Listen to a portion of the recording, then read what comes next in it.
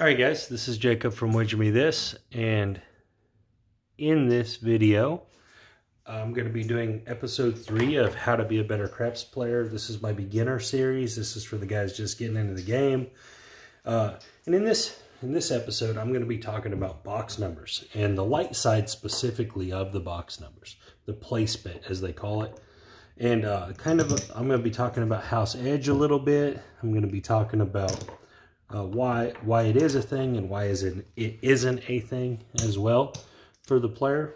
All right, so the first thing first is the 4 and the 10 have the same probability, the same payout. The 5 and the 9 have the same probability, the same payout. And the 6 and the 8 have the same probability, the same payout.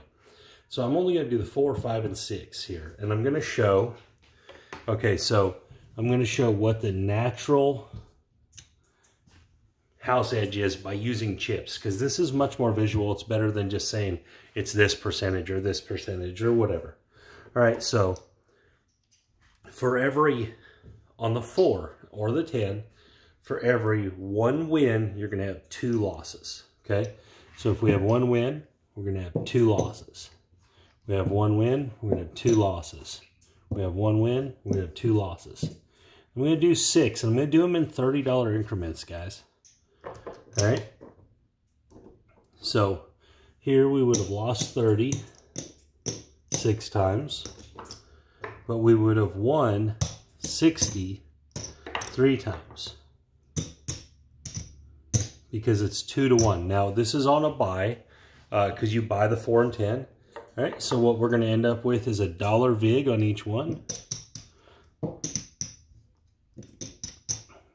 So it's going to be total of $59 payouts on each one of these. Okay, so that's on the four, right? I'm not counting this. This money in the middle, guys, is just what I'm saying was bet on it. So in six losses, you'll have lost $180, right? And out of those six losses, you'll have won three times of $59.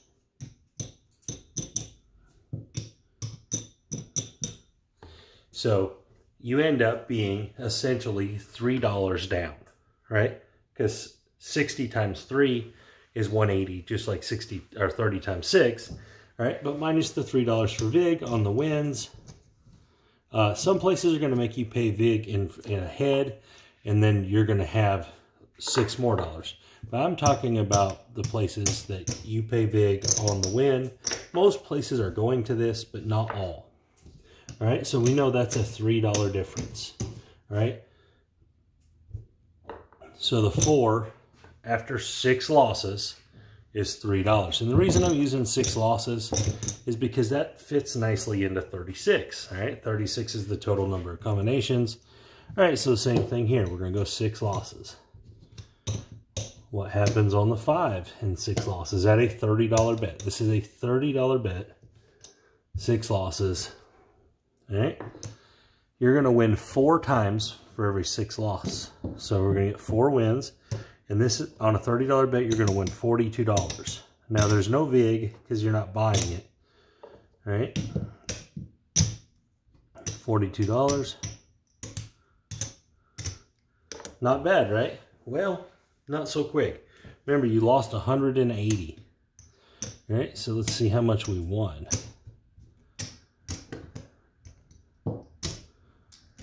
There's 100, 150, 160, 165, 167. So you're actually, or 168, sorry. So you're actually down $12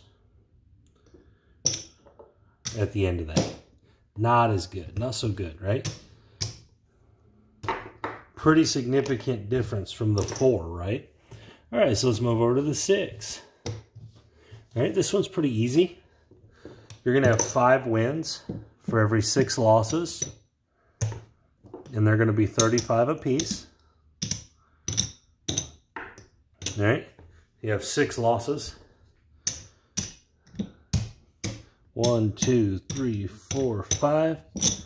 So these are going to make up for your six or five losses. Then you got $25, so it's going to leave you $5 in the negative. All right, so that's house edge. That's what house edge looks like in chips at $30 bets. All right, after six losses, you'll have won uh, this many times, and this is where you'll be at negative. This is what house edge is. This is exactly what they're talking about. That after so many losses, you'll have won this many, and you'll be down this much. All right, so so just looking at this, okay, so you have in the same amount of losses, the four only loses $3. The five loses $12 and the six loses $5. And so you can uh, you can calculate this out this way as well, right? These are the same as the other side. So which box numbers are the best to play? All of them. And here's where I'm going to explain why house edge really doesn't matter. All right. This is over six losses on this one, six losses on this one, six losses on this one, and so on and so forth. But it's also over three wins. So think about how many total rolls that is just to satisfy this. All right. So you're at 36, because 6, 6, 6, 6, right? And then on here, you'd be at 3, so it's 39, 4, 43, 48, 53, uh, 57, 60. 60 total rolls in the box numbers only that have to hit the box numbers and, and to get to this point, right? So that's not reality, guys. It's not how craps is played. It's not how players play.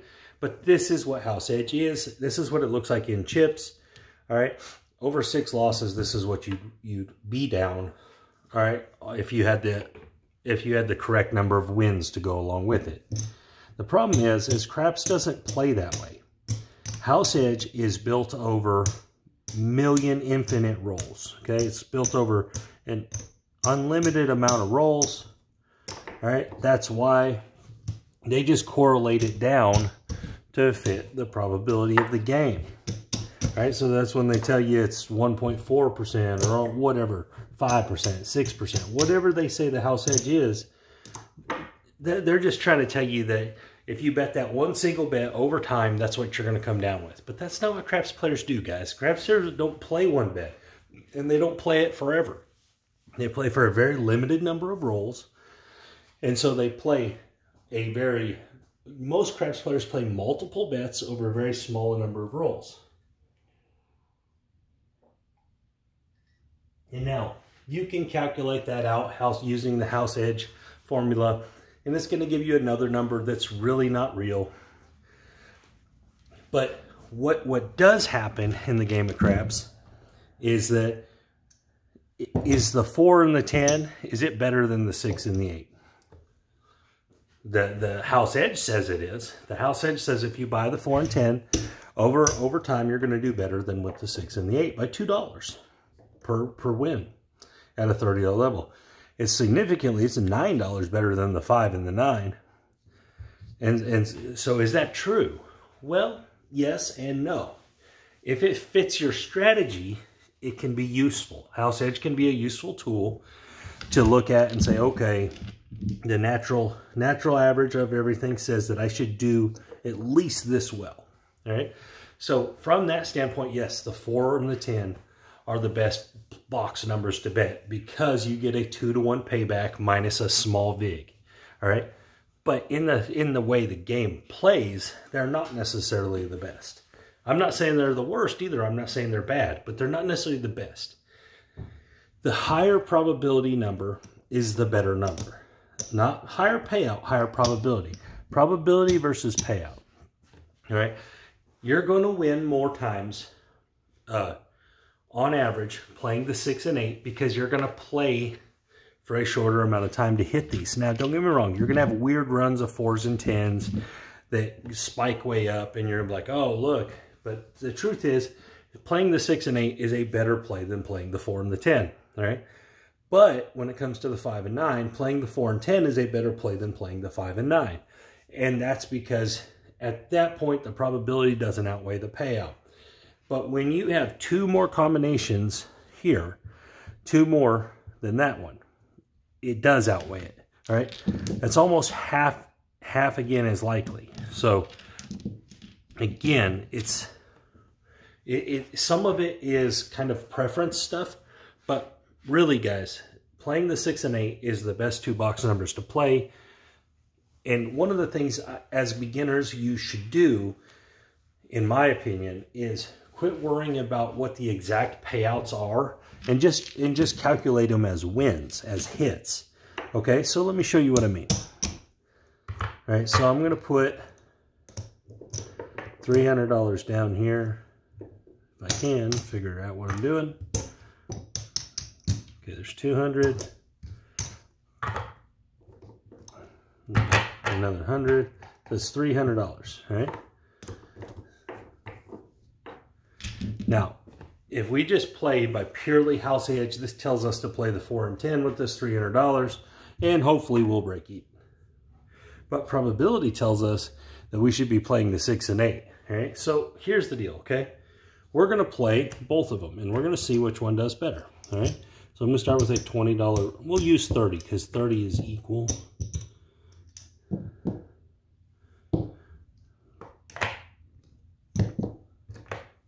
Okay, so which one's going to do better? I'm going to put the winnings out in front. All right, so what we're going to do is I'm going to play a three hits and down strategy. This is where house edge starts mattering. All right, we're going to add strategy into what we're doing. All right, so after three hits and down, I'm going to take the money down. I'm going to take all of the money down. Which one do you think is going to hit more often at three hits and down? Well, of course, the six and eight are because they're they're twice as likely. Nearly. So here we go. Let's just roll it out. I'm just going to roll it from right here. All right, everything's working all the time. And we have a nine Of course, the ones I said don't hit as much, right? That's not really what I said, but there's the six, okay? Here's one hit. See how many times three hits and down works better on the six and the eight. And there's two hits, so five, one. Three hits and down. And the nine, point made. Good shooter here. All right, still everything's working. And the seven, okay. So we didn't quite make it to three hits and down. But what did we win? We won two sixes. Rack them up. Put them back out.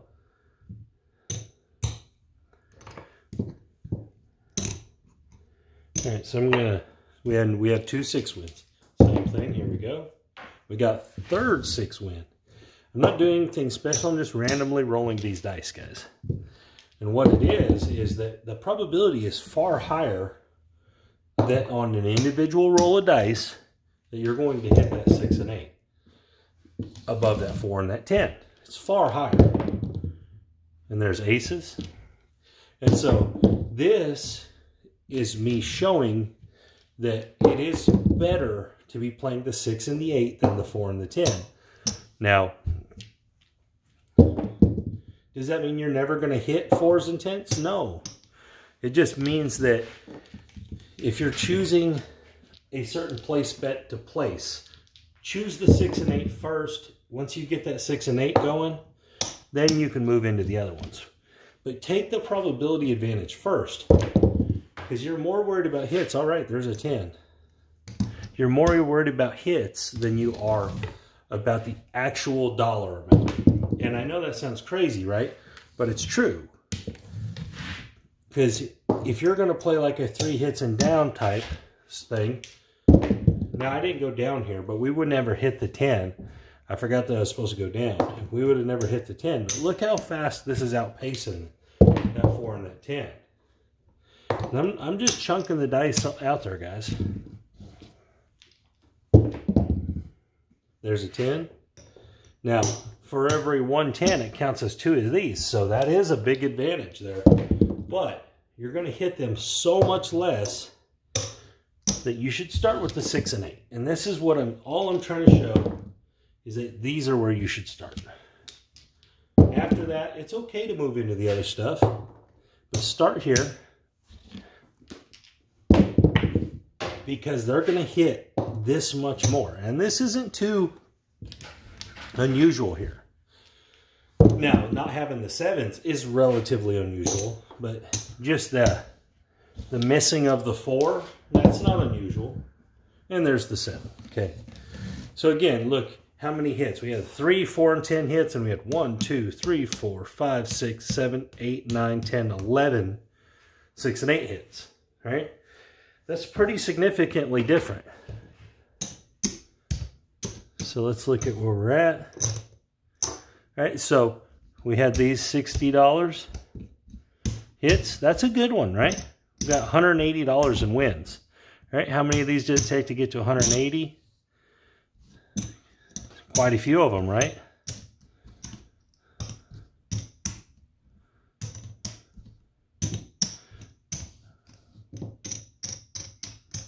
There's six, it's 150.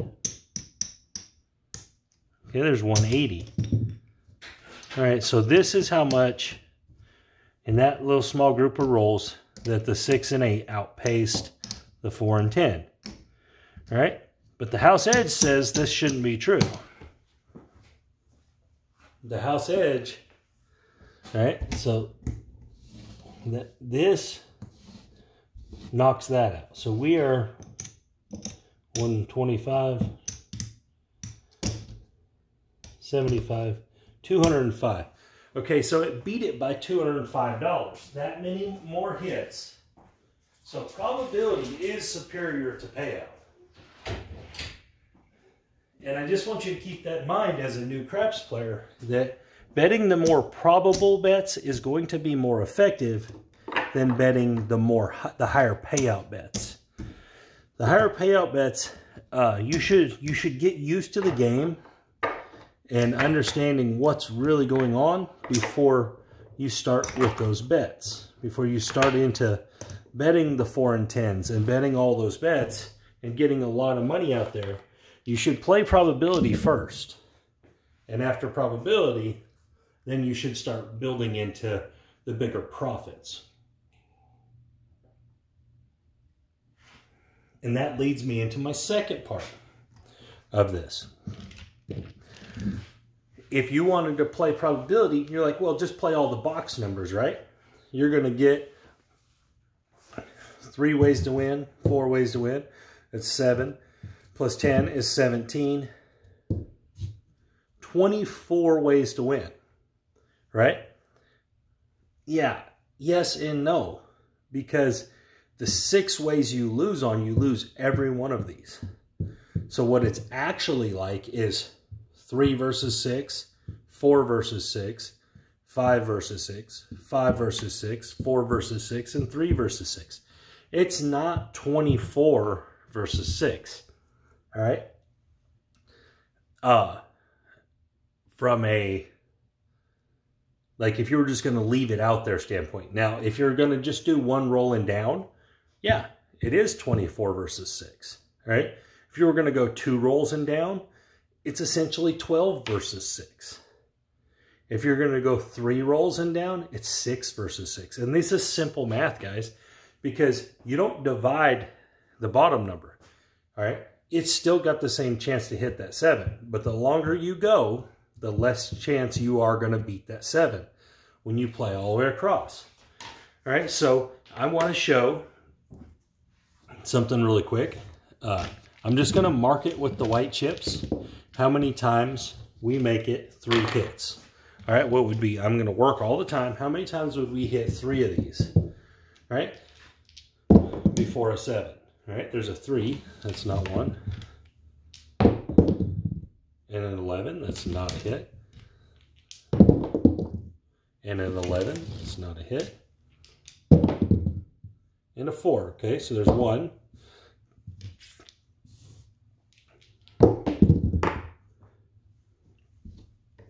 Two. We need one more hit before a 7. Three. Okay, so that's one. We made it one time before a 7.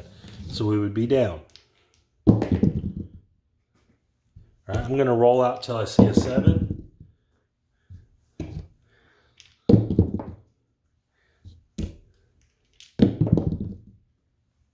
And again, I'm just rolling from about three feet away, but I'm rolling them hard, so they're pretty random. This would have been a pretty good roll.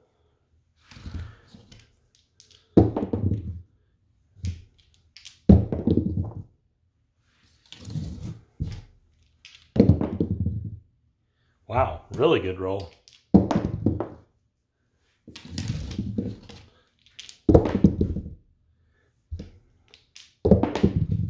And there's our seven. Okay, so we made it one time. Let's see if we can make it a second time. And there's an 11. There's a 9. All right, you should only make it on three hits and down going across about every other time. So we didn't make it the second time.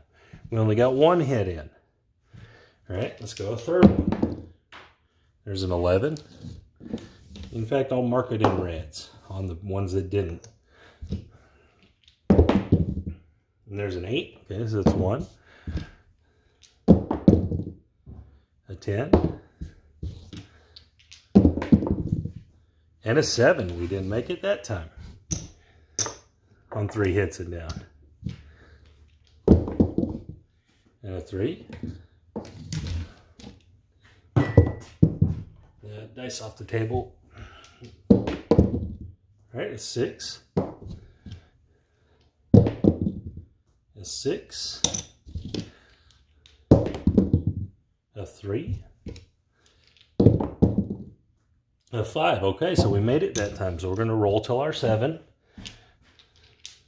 So as you can see, there's an eight. As you can see so far, it's tracking just right half the time you should get three hits and down, and half the time the seven should come before you get three hits. There's our seven. All right, so starting over, we got an eight. And, and guys, this is just easy math. This isn't this isn't high end math. This is just easy math. All right, it made it that time. Three hits and down. And what you're looking for, all right, we're looking for a seven now. We're looking for, there's our seven. All right, so new run. You're looking for a good group of, of dice that wins more than it loses, right? If you're playing light side. And there's the 10. So right now we're plus one on the good. And there's the nine. All right, we're plus two times on three hits and down. All right, we're looking for a seven. Remember, I'm playing like these are all individual of each other. There's no frequency here. It's just all individual. There's an 8. An 8. A 6. 6. And the 7. Okay? All right, so Right now, we're four to two to the good. That's really good. And a nine, okay.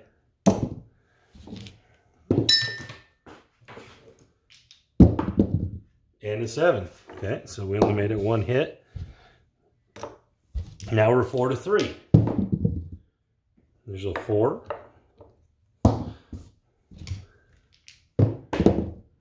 There's a six. And there's the seven. Okay. So again, now we're four to four. This is going to keep going like this, okay? When you're playing all the way across, getting the probability advantage.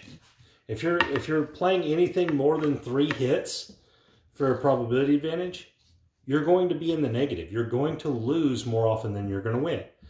So three hits and down, two hits and down, or one hit and down is where you got to live on that uh, to stay. I'm talking about purely random guys. I'm not talking about no dice control or anything like that. But this is going to keep repeating itself. If you rolled this out a thousand times, this is going to come really close to even because that's what the math says. So again, when you're getting into playing the box numbers, guys, when, when you're when you're getting on that step, and that's where you should be, you should be playing the box numbers, uh, whether with them or against them you got to realize that there's limits to it because if you're on the light side, the seven kills all of the box numbers in one roll. and you can only win one of the box numbers at a time. You can't win two box numbers at a time, guys. So, again, uh, what I'm trying to show here is that while house edge is a thing, it doesn't really matter to the player in the game of craps because you're not going to be there for a million rolls. You're not going to be there for 500 shooters. Now, over if you track yours over the course of time, sure, absolutely. But probability is superior to all of it. Superior to the payout. It's superior to house edge. And the reason being is because as a craps player, you should be playing with strategy. And so your strategy should be something where you get hits, and then you get out of the game. You don't want to keep in the game to eventually give the money back. You you want to get the money and then get out of the game. Get the money and get out of the game. All right? So then you got to understand how many hits are safe. Where where is your safe? At which point are you gambling? Okay? So if you're playing across and you're playing three hits and down, two hits and down, or one hit and down, you're playing with strategy. If you play for four hits or more, you're gambling then you're gambling against the odds. You're gambling against the natural percentages of the game. You don't want to do that. Stay within what the game offers. Don't don't jump out of the out of the box assuming, oh, hey, this one's going to go long. That's not necessarily true. Will it sometimes? Sure. But then there's other times you say that and there's going to be a seven pop up next roll. So again, it comes down to just the, the normal math of the game and understanding why one thing leads to another, leads to another, leads to another, and what box you got to put yourself in as a beginning craps player. Now, as an advanced craps player, you're going to do some other things to minimize those risks. But in the beginning, when you start playing the box numbers, it's okay to play them all. But remember, you can't just leave them up there forever. It's not going to work out in the end. Anyways, guys, I hope you like this video. This is Jacob from Wager Me This, and you guys have a great day.